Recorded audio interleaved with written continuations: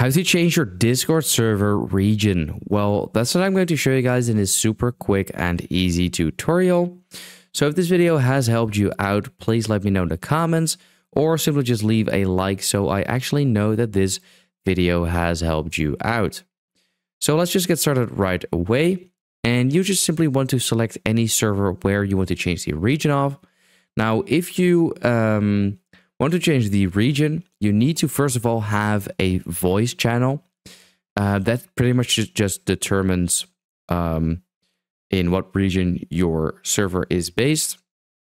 So if you have a voice channel like I have over here, what you need to do is go to edit channel, scroll all the way down, and then here we can see region override. So it's currently set to automatic and it says anyone in this channel will connect to the region you set regardless of where they live. Regions affect voice and video quality.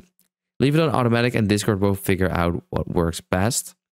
So that is just uh, what it will tell you. But if you click on automatic here, we have a bunch of different options.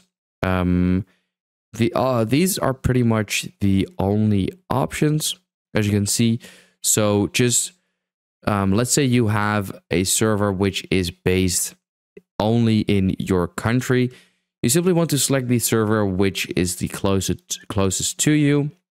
But let's say you are from Europe, but you have mostly a like server based in the United States, then you may want to set this to any of these um, uh, servers. Or else, if you, for example, select automatic, it might just uh, select your country instead of the country where most of your people are.